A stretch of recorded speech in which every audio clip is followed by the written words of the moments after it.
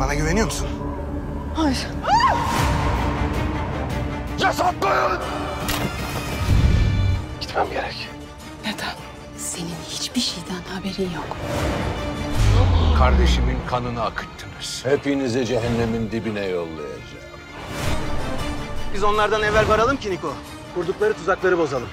Benim kaderimde. İshak Ağa'nın değil.